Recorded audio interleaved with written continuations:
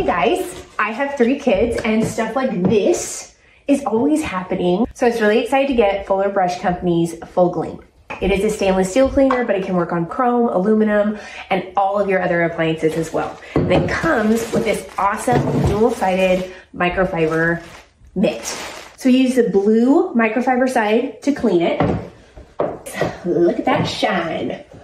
I love that the mitt has a polyester lining so that no cleaner touches my hand. Once you're done cleaning, you turn the mitt around and use the gray finger-like microfibers to buff and polish. And it takes all those streaks right out. I can even use the microfiber and the duster on other appliances. Clean and polish. Love how far it goes down on my wrist. Like this, like, it's like half my arm.